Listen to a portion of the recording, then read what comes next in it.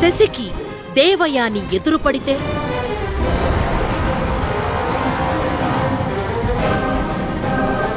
శశిరేఖ పరిణయం సోమవారం నుంచి శనివారం వరకు రాత్రి తొమ్మిది గంటలకు.